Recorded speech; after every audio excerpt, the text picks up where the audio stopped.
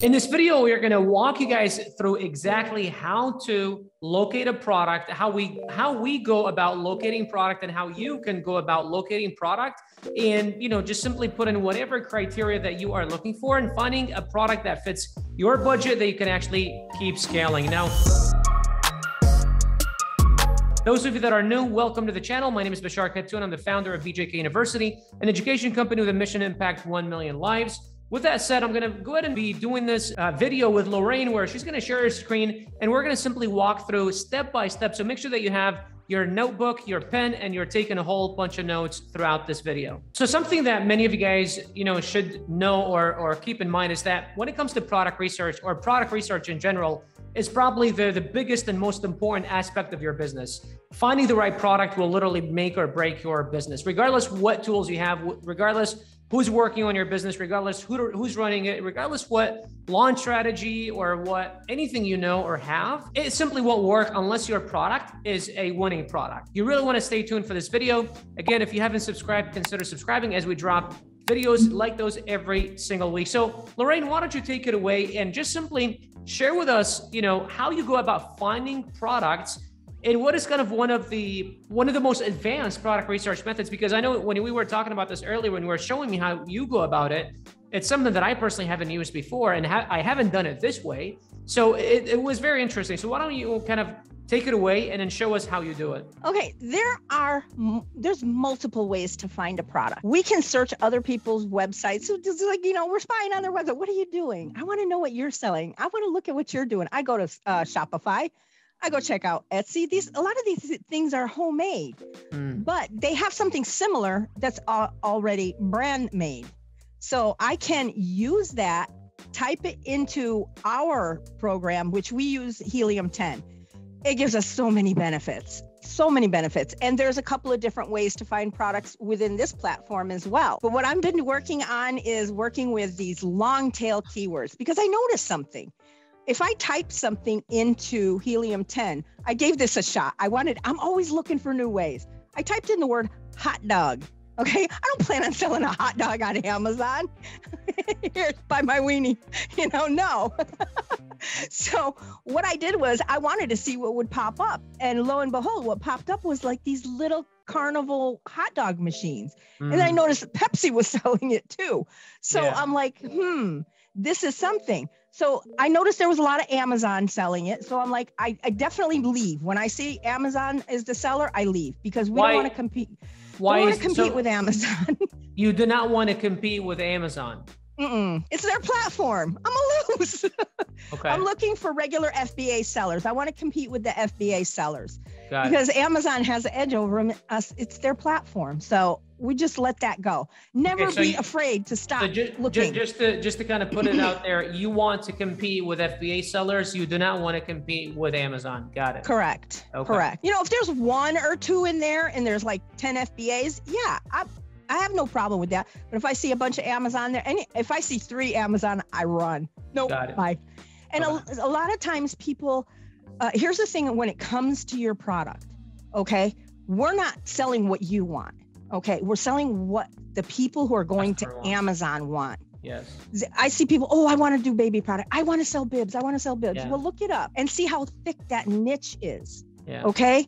And it's not what you want. If you want baby bibs, go buy them, you know, but don't sell them if the numbers don't make sense. We always, always stay loyal to those numbers.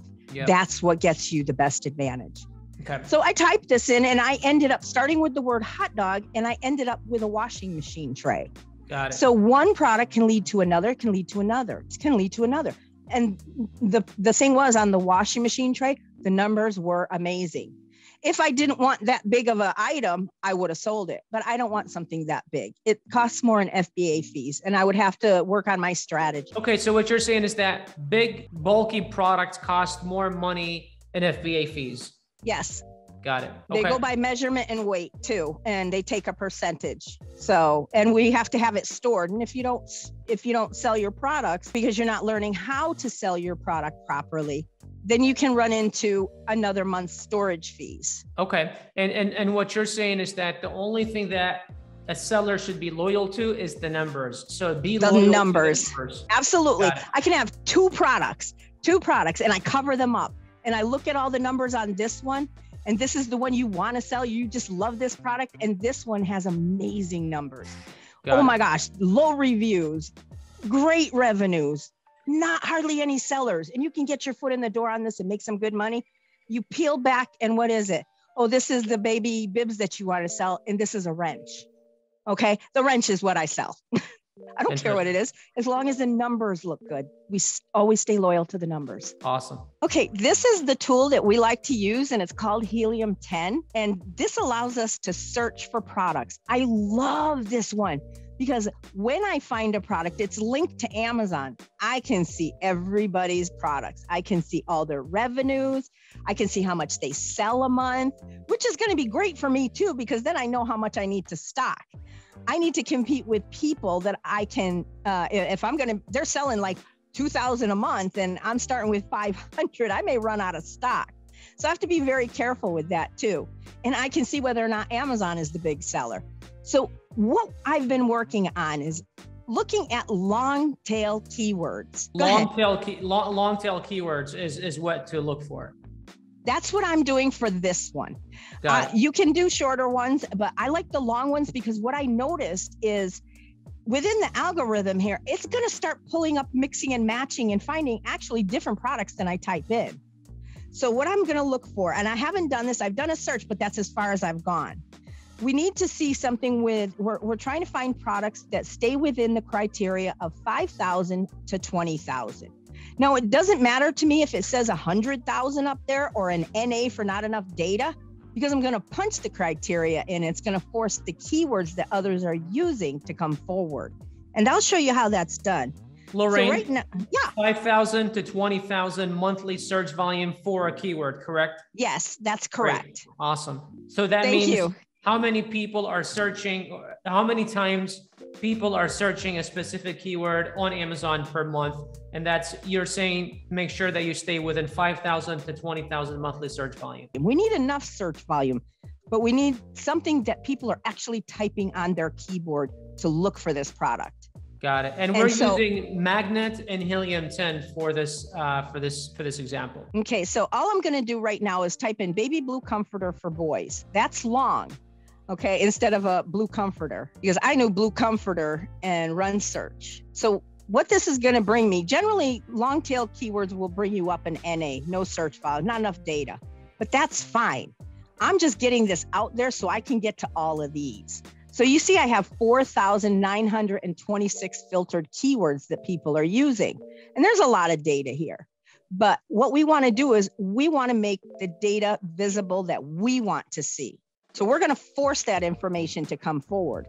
So I'm going to put in my search volume. I want my search volume to be no less than 5,000 people searching and no more than 20,000. I can understand why why no less than 5,000 because you know obviously anything less than that it's gonna it's not gonna have enough demand. But why not more than 20,000? Isn't it the more the merrier? No, not necessarily because the more people that are searching for this, these are the top players that are using these big ones that have a 100,000 search volume. So they're paying some good money to be up there on top on those keywords. And you would need a bigger budget, a way bigger budget to compete in that arena. So we have to start somewhere and scale up to it.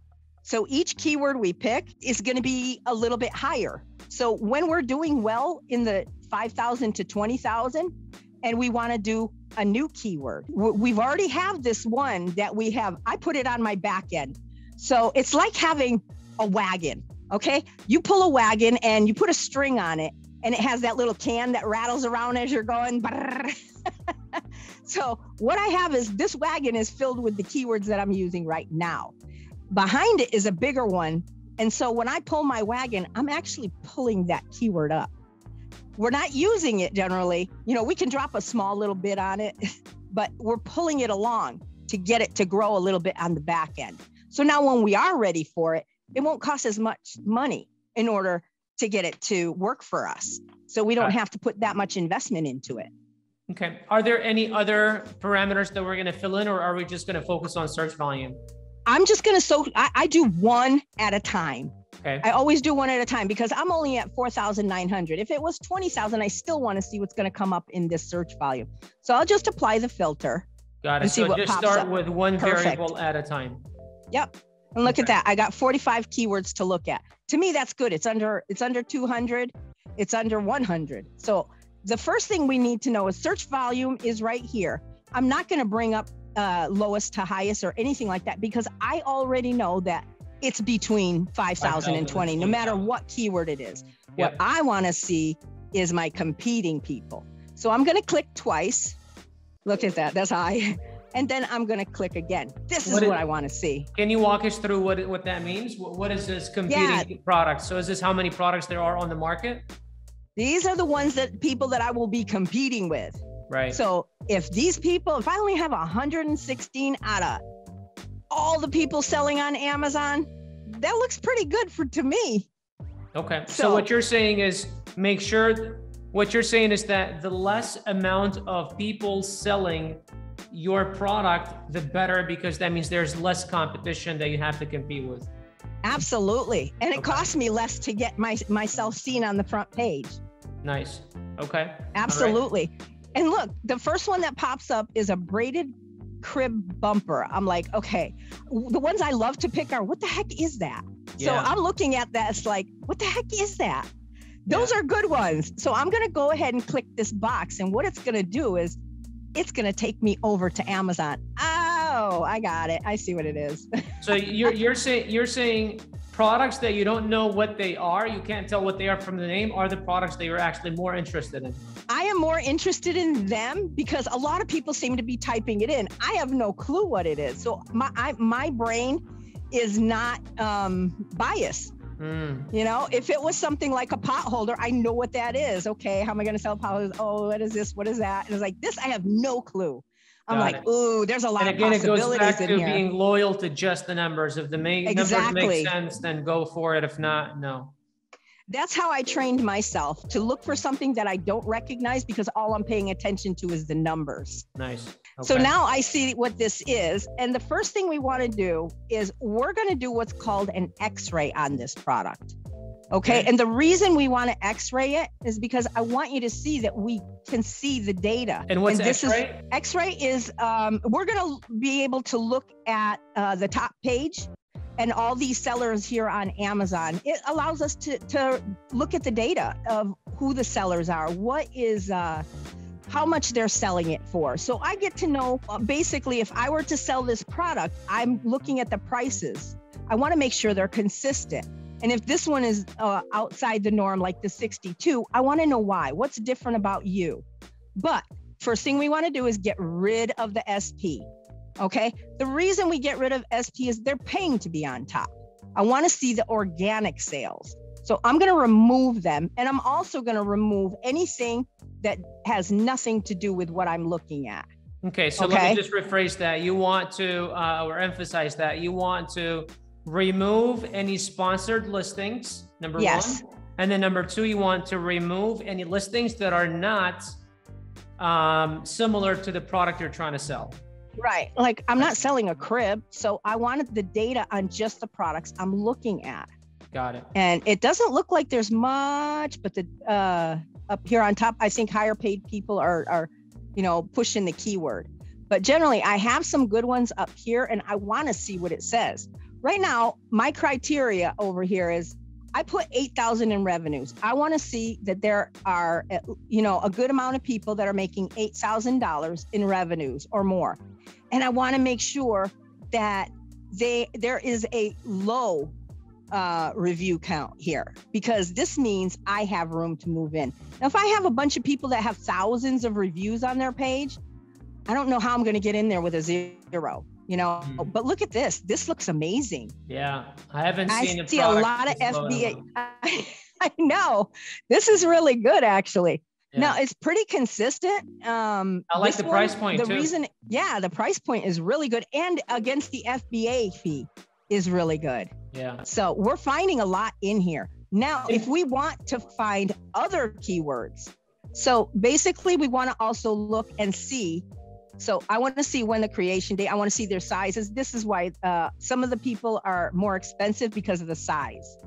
Uh, it's a large standard versus a small oversized. So this is why the their way, prices if, are a little different. The, those of you that are watching this, if you're finding this uh, valuable, we actually have uh, um, you know a full tutorial that that goes into exactly how you can how you know how how Lorraine learned everything, how all you know how we've helped all of our students, and and, and you know now we've got over 4,500 students that we're helping uh, every day. Lorraine works with them day by day. Uh, below this video, there's a link that'll take you to a uh, uh an application form where you can actually get on a call with one of our enrollment advisors one on one and see how we can assist you and if BJK University is a good fit for you. So if that's the case for you, click the link below this video. So Lorraine, you were saying that you wanted to look for, um, you know, for products, you look for their date when they actually were established or when they were created. Why is that important?